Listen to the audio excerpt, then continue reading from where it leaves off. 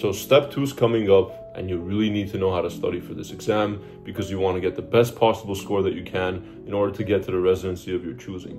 If that's you and you've clicked on this video, you're home. You're in the right place because in this video, we're going to be talking about all the tools, all the sources, and any tips that I may have to give to you so you can get the best possible score that you can on your exam. Before we get started, my name is Gor. I'm a fourth year medical student that's currently applying for residencies. To be honest, I wanted to make this video for a while now, so I'm happy to be publicly posting on YouTube for the first time. We're gonna gatekeep absolutely nothing in this video. I'm gonna make sure that you have all the sources that you need to get that good score. Speaking of gatekeeping, I'm not gonna gatekeep my score either. This is how I performed on my exam.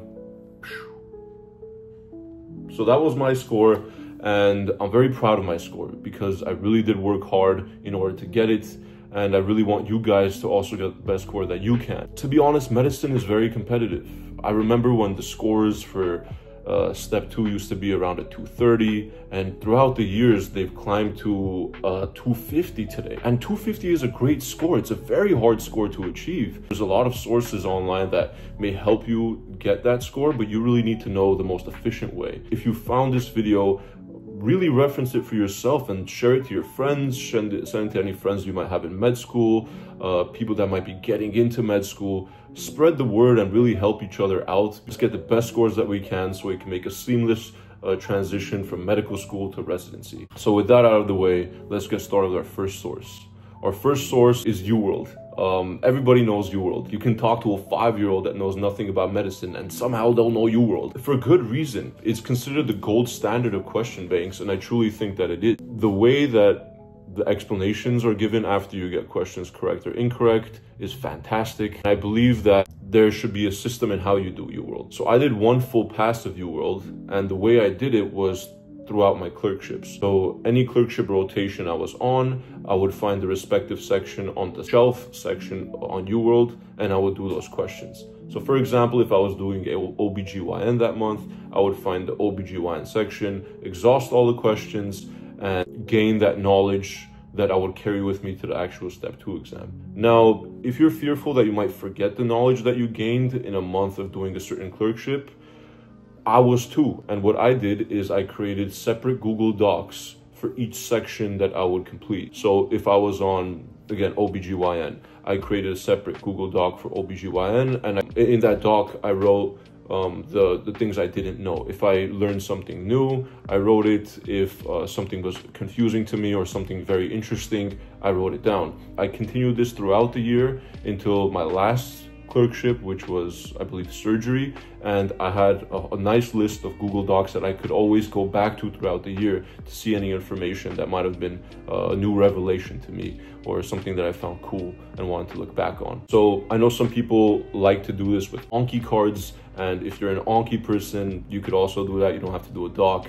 I've just never used Anki. I honestly don't know how it works. I'll talk to you about my perspective on Anki a little later throughout this video, but just have a place where you can reference it back. By the way, after the first pass of UWorld, uh, I thought that was sufficient because I tried to do another pass and I maybe got around 20% done and I saw that for myself personally, I was remembering the questions and this was a problem to me because I wanted to learn new things and not uh, recall old stuff that I already knew. Never really did it again after 20% because I started doing Amboss. Now, Amboss I did throughout the year as well, but I really started to focus on it more near the end, and I wish I did it earlier because I think the test writers have probably caught on that most people know UWorld. People know UWorld questions very well. So Amboss is a little bit different in the way they ask questions. Their explanations are very pristine, very clear cut. Think that if you want to add more questions to your repertoire, that it's great to do Amboss. Also, Amboss has this thing called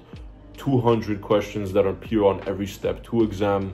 If you're not going to do Amboss, I highly recommend that you just do that because that 200 question thing I think on my actual step two exam, maybe about 10 to 15 of those questions appeared. Now, they weren't the same exact question, but they were very similar and similar concepts were tested.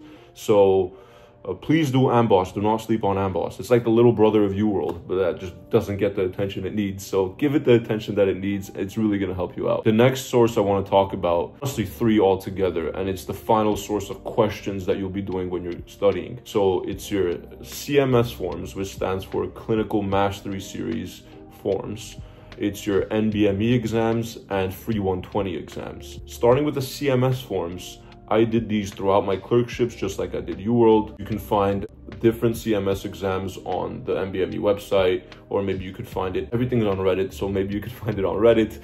You could go through those CMS forms for every clerkship. And I did it for peds, obs, gyn, surgery, internal. I just completed all of them and I never did it again. I thought one pass of those was sufficient. For my NBMEs, I did NBMEs 8 to 15. I think 15 is the last one. So I did all those NBMEs about two to three weeks before my actual test date. I would do 200 questions in one day and I take the rest of the day off because that really kicked my butt. And the next day I would sit down and review all 200 and if I found anything new, again, I go to the Google Docs and just write it there. I, I did, you know, a, a full NBME with review in two days, and I did that for until the end of the NBMEs. And those are super representative of the exam, so I recommend that you keep those towards the end. It's a tool that you'll need, and you don't want to forget these questions because they're super useful. Free 120s are also very good. I think there's about two to three free 120s that you can access now and I did those about three to four weeks before my exam. I kind of threw them in sometimes when I got bored of doing other things just to switch it up. And I think these questions were also representative and they were a really good reflection of the exam.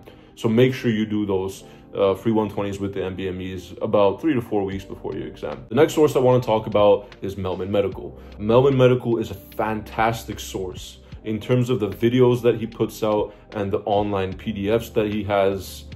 He's great and I will link his YouTube channel and his uh, website below.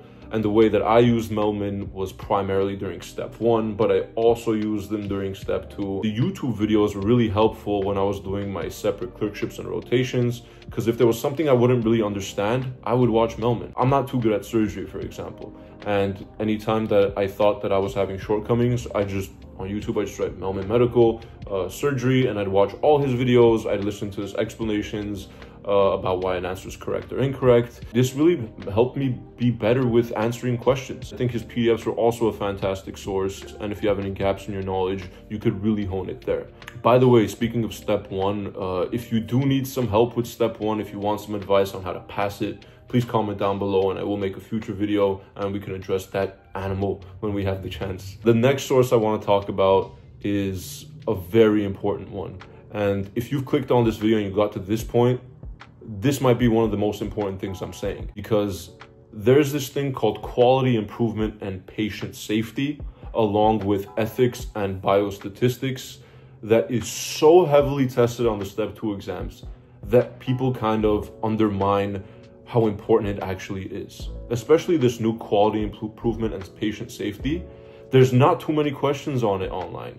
If you're doing a UWorld or Amboss question bank, you're not gonna get everything that you need out of it. Well, in order to combat that, I've made my own Google Doc that I've referenced throughout the year and I'm gonna share it. I'm gonna link it down below so you can access the Google Doc, share it with your friends.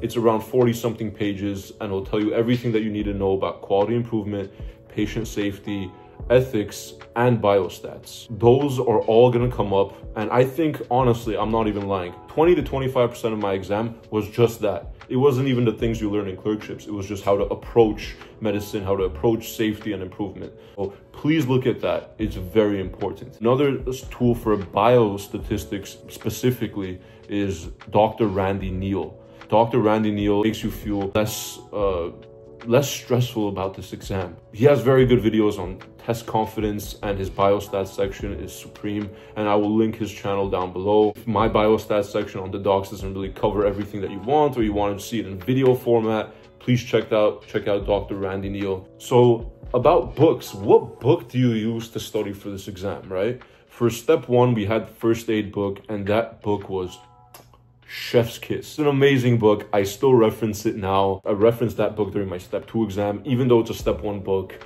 But now what book do you use? The step, the step two first aid is not as polished. So I went on a hunt to find the next best book. I found this thing called Step Up to Medicine. I didn't really click with it. And after days and days of trying to find the best possible book, I found it. I found it. I'll, I'll actually I'll pop a little picture right here and I'll link it down below. I'll link an Amazon link where you can buy this book. The explanations are very, very advanced yet easy at the same time. And it's fun to read this book. The algorithms are placed very beautifully. The sections and the chapters are divided very well where you can uh, follow it based on your clerkships. You could, you could read it whenever you want. I would say maybe about 10% of my exam I couldn't credit to this book. It's called the Thieme's book for step two and step three, but I don't really know how much of it is actually step three. I found that it was a great book for step two, but if you do learn stuff that's step three, even better. You can carry that with you throughout the years and gain some more knowledge. Why not? Please read it. I read it about two to three times and I wish I read it more, not just for the fact that I needed it for the exam, just because it was fun to read. The next source I want to talk about is Divine Intervention. Now, I've never actually listened to the audios of Divine Intervention because I'm more of a visual learner. So I found uh, a YouTube channel and the YouTuber's name was Alex Suh. Uh, props to you, Alex. You really helped me with my step two exam. And in this video, he talked about how to study for your step two as well. He mentioned that there's a Google Doc on all the high yield divine intervention that you can see. The Google Doc is about 400 to 500 pages, I believe. And it has a lot of important stuff on there that you can review before your exam. So I would recommend that you look at this about two weeks before your exam, maybe do like 20 to 50 pages a day. It covers everything, internal medicine, ethics, biostat. It really does cover everything. So do check that out and I'll link um, Alex's video down below so you can go and find that divine intervention link and check that out. Read the doc. I think it's really good. I want to talk a little bit about anki and i want to give some final minute tips before i let you go and study. Anki my stance on anki is that i feel that it really stresses just memorization in a way. And I found that this exam really likes to eliminate people that just memorize. If you are just memorizing information, it, the test will honestly be very difficult because they really love testing concepts as opposed to rote memorization. Anki, I find that it's a great tool in order to go back to certain things that you want to remember, but you can very easily fall into the trap of just memorizing things just to memorize it. I thought I would be a victim of this, so I was scared to even start Anki. I just, I just avoided it. That's my take on it. If you've been using Anki, go for it. Of course, it's your thing. But if you haven't used Anki and you're considering if you should, or if you think it's just not your thing, don't even do it. I don't even think it's necessary. The last thing, some final tips that I want to give to y'all taking this exam. Guys, at the end of the day, it's just an exam. It's just a formality that you need in order to get to residency. You have to complete it.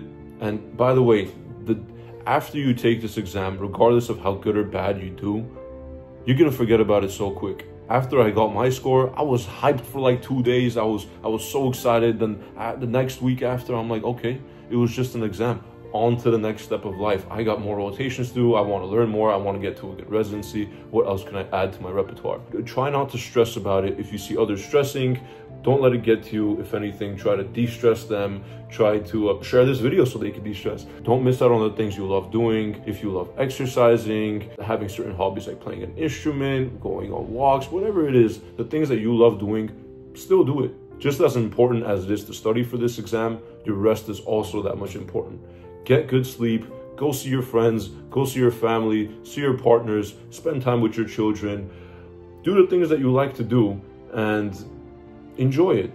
It's just an exam, and I know you guys will be great. I'm really hoping all the sources that we talked about could really help you get that good score that you want. And if there's any other questions that you have, please uh, comment it down below. I'll read all your comments and I'll get back to you. And, and again, if you want a step one video on how to pass that, comment, I'll make that video. So good luck on your exam, guys. You guys are gonna absolutely crush it. And yeah, enjoy your day.